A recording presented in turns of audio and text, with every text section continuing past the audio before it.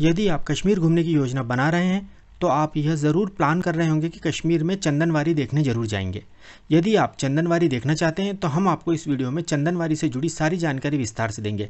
परंतु उससे पहले ज़रूरी है कि आप कश्मीर यात्रा से जुड़ी हर छोटी से छोटी जानकारी इस वीडियो से प्राप्त कर लें, ताकि आपकी यात्रा में कोई परेशानी ना आए। जम्मू कश्मीर की गर्मियों की राजधानी श्रीनगर, देश का एक प्रमुख पर्यटन स्थल है। यदि आप धरती का स्वर्ग अर्थात कश्मीर घूमने की योजना बना रहे हैं तो श्रीनगर कैसे पहुँचे, ये आपके सामने सबसे बड़ा सवाल होता है। श्रीनगर तक सीधी रेल सेवा नहीं है, यहाँ केवल सड़क और वायु मार्ग के ज़रिए ही पहुँचा जा सकता है। झेलम नदी के किनारे बसा श्रीनगर, डल झील, खूबसूरत गार्डन और हाउस बोट के लिए प्रसिद्ध है। श्रीनगर में स्थित डल झील चारों ओर से मुगल गार्डन से घिरी है और इसमें हाउस बोट स्थित हैं तथा शिकारे चलते हैं। गौरतलब है कि श्रीनगर सड़क मार्ग के ज़रिए पूरे देश से जुड़ा हुआ है। श्रीनगर बस के ज़रिए आसानी से पहुँचा जा सकता है। श्रीनगर तक दिल्ली, पंजाब, हरियाणा आदि कई शहरों से सीधी बस सेवा है। इसके अलावा जम्मू शहर से भी सीधी बस सेवा श्रीनगर के लिए है। सड़क के रास्ते अगर आप श्रीनगर जा रहे हैं तो आपको जम्मू होकर ही जाना होगा। श्रीनगर दिल्ली से लगभग 859 किलोमीटर दूर है, तथा दिल्ली से श्रीनगर का बस का किराया लगभग बारह रुपये है, तथा 18 से 19 घंटे का समय यात्रा में लगता है। इसी प्रकार जम्मू से श्रीनगर दो किलोमीटर दूर है, तथा बस का किराया दो सौ है। बस द्वारा जम्मू से श्रीनगर पहुँचने में लगभग साढ़े सात से आठ घंटे का समय लगता है। सड़क मार्ग से श्रीनगर जाने में हालाँकि समय ज़्यादा लगता है, लेकिन रास्ते में मिलने वाली प्राकृतिक खूबसूरती आपकी सारी थकान मिटा देती है। ऐसी अद्वितीय प्राकृतिक खूबसूरती का लुत्फ आप हवाई यात्रा में नहीं उठा पाएँगे। आप जम्मू तक ट्रेन से भी आ सकते हैं। परंतु जम्मू से श्रीनगर आपको बस या टैक्सी से ही जाना पड़ेगा, क्योंकि श्रीनगर तक रेल सेवा नहीं है। श्रीनगर बस स्टैंड पर उतरने के बाद आप ऑटो रिक्शा या टैक्सी से आपकी होटल या हाउस बोट तक पहुँच सकते हैं। ऑटो रिक्शा का किराया बहुत कम होता है, जो कि दूरी के आधार पर लिया जाता है।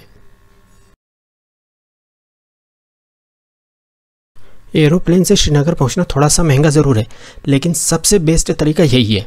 श्रीनगर तक भारत के लगभग हर बड़े शहर से उड़ान सेवा उपलब्ध है। एरोप्लेन के ज़रिए दिल्ली से नॉन स्टॉप फ़्लाइट से श्रीनगर पहुँचने में करीब डेढ़ घंटा लगता है। यदि आप दो से तीन महीने पहले फ़्लाइट का टिकट बुक करा लेते हैं तो दिल्ली से श्रीनगर का नॉन स्टॉप फ़्लाइट का किराया केवल पच्चीस से तीन हज़ार रुपये पड़ता है। यदि आप वन या टू स्टॉप फ़्लाइट चुनते हैं तो किराया और भी कम हो जाएगा। एरोप्लेन से जाने में आपका बहुत सारा समय बचता है और रास्ते में कोई परेशानी भी नहीं होती। यदि आपके साथ छोटे बच्चे हैं तो हमारा आपको सजेशन है कि आप फ़्लाइट के द्वारा ही श्रीनगर जाइए। AirAsia IndiGo SpiceJet GoAir Air India आदि एयरलाइंस दिल्ली से श्रीनगर के लिए प्रतिदिन कई उड़ानें संचालित करती हैं। श्रीनगर एयरपोर्ट पर उतरने के बाद आपको अपने होटल अथवा हाउस बोट तक जाने के लिए टैक्सी करनी पड़ेगी, क्योंकि ऑटो रिक्शा तथा बस आपको एयरपोर्ट पर नहीं मिलेगी। श्रीनगर एयरपोर्ट से श्रीनगर सिटी अथवा डल झील तक का टैक्सी का किराया 700 से 800 रुपए है। आप यहाँ किराया कम करने के लिए बार्गेन नहीं कर सकते, क्योंकि यहाँ टैक्सी यूनियन है तथा टैक्सी वालों की मोनोपोली है।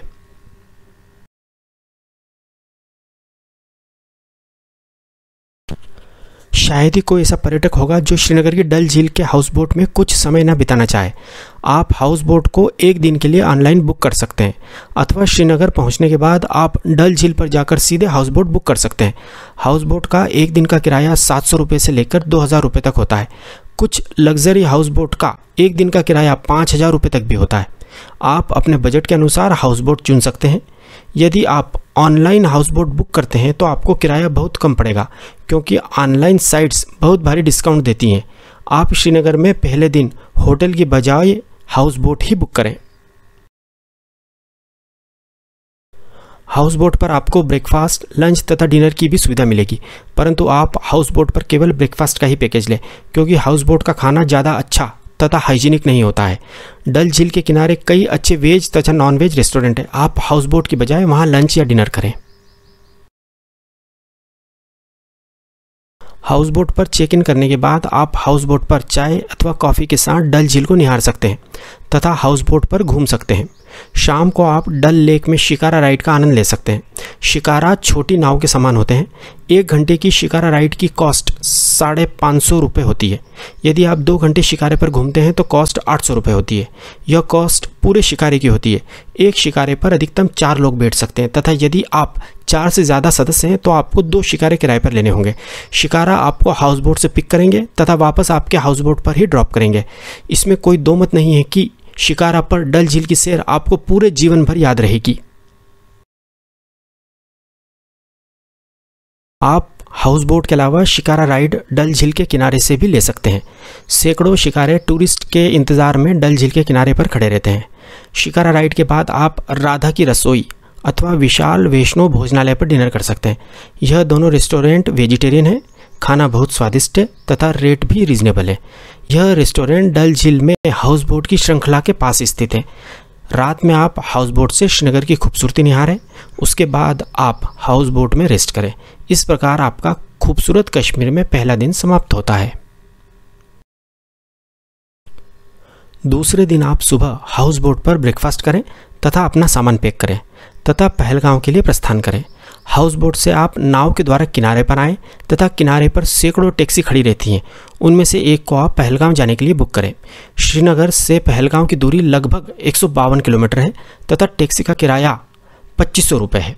टैक्सी वाला आपको रास्ते में कई खूबसूरत साइट्स जैसे कि अवंतीपुर रुइंस दिखाता हुआ ले जाएगा। अवंतीपुर रुइंस 1100 साल पुराना राजा अवंती वर्मन द्वारा निर्मित भगवान विष्णु का मंदिर है। हालाँकि यह मंदिर टूट फूट गया है, परंतु फिर भी देखने लायक है। पहलगांव पहुँचने में आपको पाँच घंटे का समय लगेगा। इसलिए आप रास्ते में किसी अच्छे ढाबे पर लंच कर लें। आपकी टैक्सी का ड्राइवर आपको इस मामले में गाइड कर देगा। यदि आप श्रीनगर से 10 बजे सुबह पहलगांव के लिए निकलते हैं तो आप रुकते रुकते तथा सुंदरता का आनंद लेते हुए भी जाएँगे तो भी आप तीन से साढ़े तीन बजे तक आराम से पहलगांव पहुँच जाएँगे। यदि आपने पहले से होटल बुक कर रखा है तो आप वहाँ जाएँ। यदि आपने ऑनलाइन होटल बुक नहीं किया है तो टैक्सी वाले की मदद से अपने बजट के हिसाब से आठ सौ रुपये से दो हज़ार रुपये पर डे का होटल बुक कर सकते हैं। इसके बाद आप पेमेंट देकर टैक्सी वाले को छोड़ दें, तथा होटल में चेक इन करें। शाम की चाय या कॉफ़ी आप होटल के बाहर, लान में, बर्फीले पहाड़ों को देखते हुए पिए। यदि आपका मन करे तो आप होटल से बाहर, वैली में टहलाएँ, इसके बाद रात का खाना आप होटल में ही खाएँ, तथा रात में आराम करें। इस प्रकार आपका मेजेस्टिक कश्मीर में दूसरा दिन समाप्त होता है।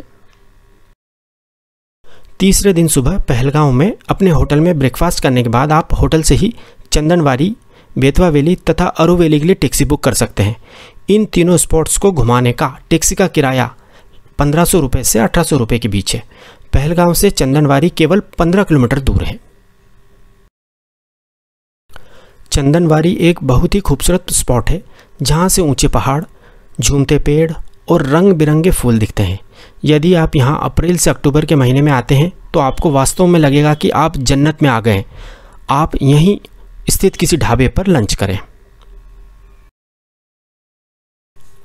इसके बाद आप बेताब वैली जाएँ 1983 में एक बॉलीवुड रोमांटिक फ़िल्म आई थी, जिसमें सनी देओल और अमृता सिंह एक साथ नज़र आए थे। उस फ़िल्म की शूटिंग इसी घाटी में हुई थी। इस फ़िल्म के नाम पर ही इस घाटी का नाम बेताब वैली रखा गया है। नर्म घास के मैदान और हसीन पहाड़ियों से घिरी यह घाटी पहलगांव और चंदनवाड़ी के बीच स्थित है, जहाँ से एक मार्ग अमरनाथ मंदिर को भी जाता है। यह एक खूबसूरत और बेहद आकर्षक घाटी है, जो हरे भरे घास के मैदान और बर्फीली चोटियों से घिरी हुई है। चंदनवाड़ी से लौटते समय आप बेताब वैली में घूमें।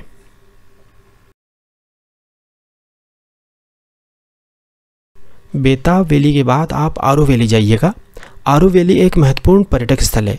इस वैली के बीचों बीच एक नदी है, जिसके किनारे आरू गाँव बसा हुआ है। यहाँ आप हॉर्स राइडिंग ट्रेकिंग आदि कर सकते हैं। इस वैली में आकर आपको स्विट्ज़रलैंड जैसा अनुभव होगा, तथा आपका मन इस वैली से वापस जाने का ही नहीं होगा। आपका मन करेगा कि आप इसी गाँव में बस जाएँ। आरू वैली में आपको चाय नाश्ते की दुकानें भी मिल जाएँगी। आरो वैली के बाद आप पहलगांव घूमते हुए अपनी होटल में आ जाएँ, तथा रात का डिनर अपनी होटल में ही करें। चौथे दिन आप होटल में ब्रेकफास्ट करके गुलमर्ग के लिए निकलें। पहलगांव से गुलमर्ग की दूरी 140 किलोमीटर है तथा पहलगांव से गुलमर्ग पहुँचने में चार से साढ़े चार घंटे का समय लगता है। आपको आपकी होटल से ही गुलमर्ग के लिए टैक्सी मिल जाएगी। होटल वाले तत्काल टैक्सी बुला देते हैं। टैक्सी का किराया 2500 से तीन हज़ार रुपये के बीच होता है। आप बारगेन करके टैक्सी का किराया कम भी करा सकते हैं। यदि आप सुबह 10 बजे भी पहलगांव से गुलमर्ग के लिए निकलते हैं तो आप ढाई बजे तक गुलमर्ग पहुँच जाएँगे। आप चाहें तो रास्ते में लंच भी कर सकते हैं, या आप गुलमर्ग पहुंचकर अपनी होटल में लंच कर सकते हैं। यदि आपने गुलमर्ग के लिए ऑनलाइन होटल बुक की है तो वह आपको बहुत सस्ती पड़ेगी। परंतु गुलमर्ग पहुंचकर यदि आप होटल सर्च करते हैं तो होटल वाले बहुत ज़्यादा रेट बताएँगे, जो तीन हज़ार से चार हज़ार रुपये तक भी हो सकता है। जबकि ऑनलाइन बुक करने पर उसी होटल में आपको पंद्रह सौ रुपये में रूम मिल जाएगा। पूरे कश्मीर में सबसे ज़्यादा महँगे होटल गुलमर्ग में ही हैं, इसलिए यहाँ के होटल ऑनलाइन ही बुक करें, अन्यथा ये होटल वाले आपको लूट लेंगे। गुलमर्ग में होटल में चेक इन करने के बाद आप होटल के बाहर प्रकृति की गोद में चाय नाश्ते का आनंद लें, तथा कुछ देर होटल के बाहर पैदल ही गुलमर्ग घुमाएँ। रात में होटल में डिनर करके सो जाएँ। इस प्रकार आपका कश्मीर में चौथा दिन समाप्त होता है। अगले दिन अर्थात पाँचवें दिन आप अपने होटल में ब्रेकफास्ट करने के बाद केबल कार राइड के लिए जाएँ, जिसे कश्मीर में गंडोला राइड कहते हैं। आप पोनी अर्थात घोड़े पर बैठकर गंडोला राइड के टिकट काउंटर अर्थात स्टार्टिंग पॉइंट तक भी जा सकते हैं। आप गंडोला स्टार्टिंग पॉइंट तक अपने होटल से पैदल भी जा सकते हैं। यहाँ केवल 20 मिनट में पैदल पहुँचा जा सकता है। आप अपने बच्चों को घोड़ों पर बिठा सकते हैं। यहाँ पर आपको टैक्सी करने की कतई ज़रूरत नहीं है। गंडोला राइड के दो फ़ेज़ होते हैं। पहला फ़ेज़ गुलमर्ग से कुंगदूर का होता है। इसका किराया सात सौ चालीस रुपये है। सेकेंड फ़ेज़ कुंगदूर से अपर वाथ तक का होता है। इसका किराया नौ सौ पचास रुपये होता है।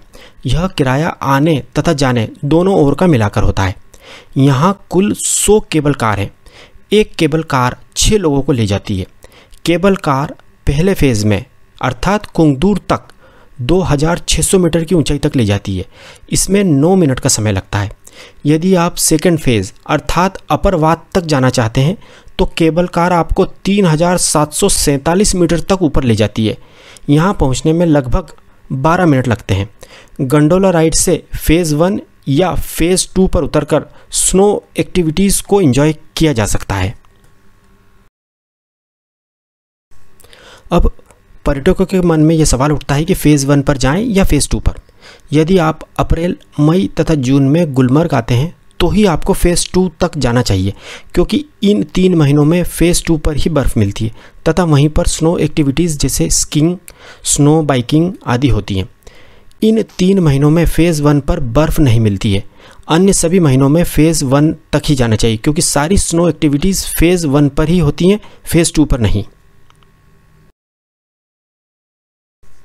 कुंगदूर अथवा अपरवाथ में स्नो एक्टिविटीज़ करने के बाद आप गंडोला से वापस गुलमर्ग आ जाएँ। रात का खाना आप अपने होटल में ही खाएँ तथा आराम करें, क्योंकि आप स्नो एक्टिविटीज़ के बाद बहुत ज़्यादा थक जाएँगे। एक महत्वपूर्ण बात, गुलमर्ग अपनी स्नो एक्टिविटीज़ के लिए देश भर में फ़ेमस है। यदि आप अप्रैल, मई तथा जून में कश्मीर घूमने का प्लान बना रहे हैं तो आपको स्नो केवल गुलमर्ग में ही मिलेगा। तथा वह भी कुंगदूर अथवा अपरवाथ में। अन्य जगह पर बर्फ़ पहाड़ों पर रहती है, जहाँ जाना संभव नहीं है। केवल गुलमर्ग में ही आप गर्मियों में बर्फ़ को हाथ से छू सकते हैं।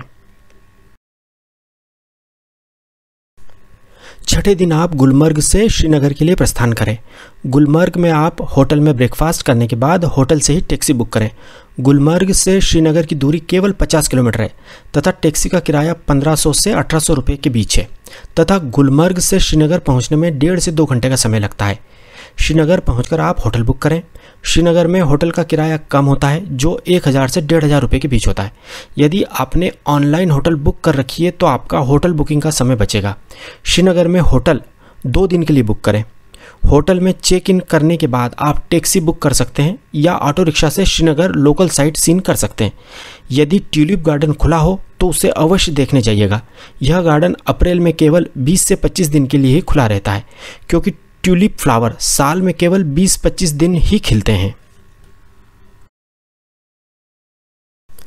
इसके बाद आप श्रीनगर में चश्मे शाही निशांत बाग तथा शालीमार बाग घूम सकते हैं। इन तीनों बागों को ही सम्मिलित रूप से मुगल गार्डन्स कहा जाता है और ये तीनों बाग डल झील के किनारे ही स्थित हैं। इसके बाद आप श्रीनगर में डल लेक के किनारे स्थित किसी अच्छे रेस्टोरेंट में लंच कर सकते हैं। लंच के बाद आप शंकराचार्य टेंपल देखने जाएँ। लौटते समय आप श्रीनगर का हार्ट कहलाने वाला लाल चौक देखें, तथा यदि आप शॉपिंग करना चाहें तो लाल चौक पर आप यह कर सकते हैं। इस चौक पर कभी कभी शुक्रवार के दिन पत्थरबाजी भी हो जाती है। यदि ऐसी स्थिति हो तो आप लाल चौक को देखना स्थगित भी कर सकते हैं। बाकी पूरा कश्मीर पर्यटकों के लिए पूरी तरह सुरक्षित है। इसके बाद आप डिनर करके रात में अपने होटल में विश्राम करें। अगले दिन अर्थात सातवें दिन आप जल्दी ब्रेकफास्ट कर लें, तथा टैक्सी बुक करके सोनमर्ग के लिए निकलें। सोनमर्ग श्रीनगर से इक्यासी किलोमीटर दूर है, तथा सोनमर्ग पहुँचने में तीन घंटे का समय लगता है। श्रीनगर से सोनमर्ग जाने तथा वापस आने का टैक्सी का अधिकतम किराया पच्चीस सौ रुपये होता है। सोनमर्ग के लिए आप सुबह आठ बजे तक निकल जाएँ, ताकि आप सोनमर्ग ग्यारह बजे तक पहुँच जाएँ। सोनमर्ग को मिडोज ऑफ़ गोल्ड, अर्थात सोने की घास वाली जगह कहते हैं। सोनमर्ग में आप पोनी राइड का आनंद उठाएँ। सोनमर्ग में ही आप लंच करें। सोनमर्ग में घूमने के लिए पाँच से छः घंटे का समय काफ़ी होता है। आप सोनमर्ग से वापस श्रीनगर के लिए शाम को चार बजे निकल जाएँ, ताकि आप अंधेरा होने से पहले श्रीनगर वापस आ जाएँ। सोनमर्ग से श्रीनगर का रास्ता रात में बहुत ज़्यादा सेफ़ नहीं है। यदि आप ज़्यादा घूमना चाहते हैं तो सुबह श्रीनगर के होटल से और जल्दी सोनमर्ग के लिए निकलें। सोनमर्ग से वापस आने के बाद रात का खाना आप श्रीनगर में अपनी होटल में खाएँ अथवा आप डल लेक के किनारे स्थित रेस्टोरेंट में भोजन करें। रात में अपनी होटल में विश्राम करें। अगले दिन, अर्थात आठवें दिन, सुबह का ब्रेकफास्ट करके आप होटल से चेकआउट करें तथा टैक्सी के द्वारा एयरपोर्ट अथवा रिक्शा के द्वारा श्रीनगर बस स्टैंड पर आ जाएँ। होटल से एयरपोर्ट वापस जाने का, टैक्सी का किराया सात सौ रुपये होता है। यदि आप फ़्लाइट से दिल्ली या कहीं और जा रहे हैं तो एयरपोर्ट पर अपने गंतव्य स्थान के लिए बोर्डिंग करें। यदि आप बस से जा रहे हैं तो श्रीनगर से जम्मू के लिए बस का टिकट ले लें, तथा वापस अपने घर की जर्नी इंजॉय करें।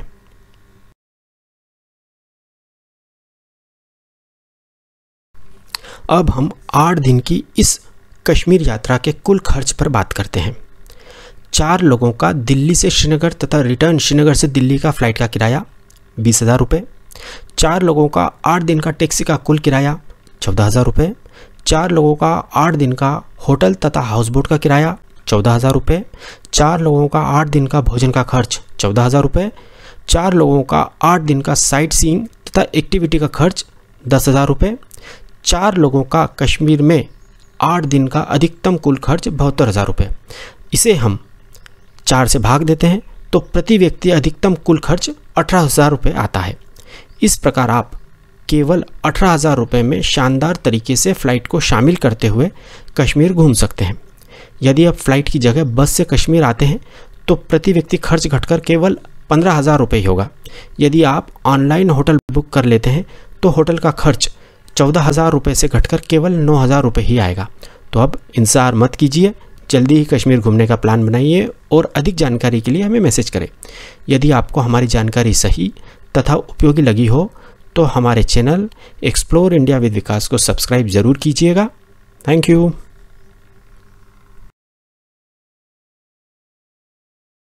यदि आपको हमारा ये वीडियो पसंद आए तो प्लीज़ हमारे channel Explore India with Vikas को सब्सक्राइब ज़रूर कीजिएगा तथा बेल आइकन भी दबाइएगा।